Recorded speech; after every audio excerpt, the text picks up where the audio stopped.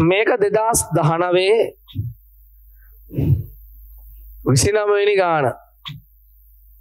රුප දක්වති ආකාර තුනී ගෝලාකාර ලොහකබලු දෙකක්. ඒක කේන්ද්‍රියව තබා ඇත. ඒක කේන්ද්‍රියව තියෙනවා තුනී ගෝලාකාර ලෝහ කබලු දෙකක්. හරි. එස් කියනවා අභ්‍යන්තර කබල වී විභයක තබා. බාහිර කබල භූගත කර ඇත. බාහිර කබල භූගත කරා නම් එයාගේ විභය බිඳුවයි. එයාගේ විද්‍යුත් විභය බිඳුවයි. හරිද?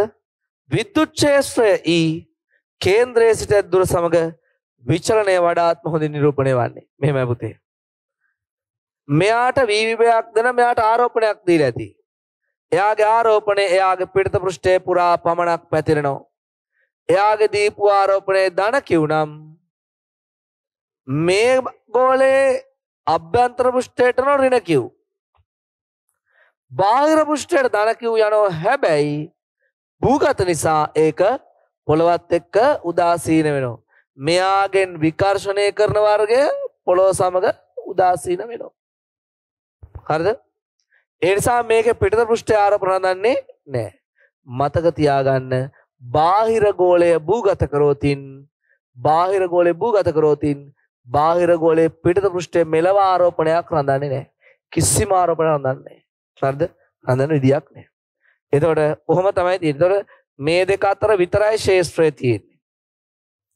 ගෝල දෙක අතර විතරයි තියෙන්නේ. අපෙන් අහන්නේ මොකද්ද? දුර සමග විද්‍යුත් ශේෂ්ත්‍රයේ විචලනය. විද්‍යුත් ශේෂ්ත්‍ර තීව්‍රතා විචලනය. ඉතින් දරුවෝ අපි හොඳටම දන්නවා මෙතන මේ හරිය බිඳුවයි. අභ්‍යන්තර ගෝලය ඇතුළේ ලොවෙත් බිඳුවයි. හරිද? මෙතනින් එහා පැත්තට ශේෂ්ත්‍රයක් නෑ. ඇයි? මේ පැත්තේ ආරෝපණ නැහැනේ. ශේෂ්ත්‍රයක් නැති නිසා විද්‍යුත් ශේෂ්ත්‍ර තීව්‍රතාවය බිඳුවයි. තියෙනවා නම් තියෙන්නේ සිම්පල් R සහ කැපිටල් R අතර විතරයි ශේෂ්ත්‍රයක් තියෙන්නේ. එතකොට හතරෙන් උත්තරේ වෙන්න බෑ. පස්වෙනි උත්තරේ වෙන්න බෑ. ඒ වගේම මේක අරිය ශේෂ්ත්‍රයක්. ශේෂ්ත්‍ර තීව්‍රතාව මේ විදිහට අඩු වෙන්න ඕන. අරිය ශේෂ්ත්‍රයක නම් මේ විදිහට ශේෂ්ත්‍ර තීව්‍රතාව අඩු වෙන්න ඕන. එහෙම ගත්තම ඉතුරු වෙනවා පළවෙනි උත්තරය සහ දෙවෙනි උත්තරය. පළවෙනි උත්තරේ දෙවෙනි උත්තරේ වෙනස මොකක්ද? පළවෙනි උත්තරේ කියනවා මෙතෙන්ට යනකොට විද්‍යුත් ක්ෂේත්‍ර තීව්‍රතාව බිඳුව වෙනවා කියලා. දෙවෙනි උත්තරේ විද්‍යුත් ක්ෂේත්‍ර තීව්‍රතාවක් තියෙනවා. මොකද්ද විද්‍යුත් ක්ෂේත්‍ර තීව්‍රතාව කියලා කියන්නේ? ඒකේ ආරෝපණ මත හට ගන්නා බලය. එහෙම නැත්නම් බල රේඛා ඝනත්වය. බල රේඛා ඝනත්වය තමයි විද්‍යුත් ක්ෂේත්‍ර තීව්‍රතාව.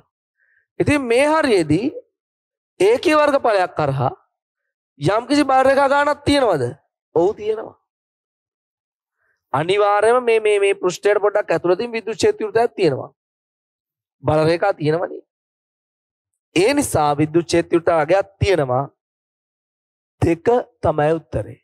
එහෙම තේරෙන්නේ නැත්නම් මේ පෘෂ්ඨයට මදක් ඇතුළෙන් ලක්ෂයක් සලකන්න. මෙයාගේ පෘෂ්ඨයට මදක් ඇතුළෙන් ලක්ෂයක මේ ගෝලයෙන් හදන විද්‍යුත් ක්ෂේත්‍ර වෘතය බිඳුවයි. ඇයි?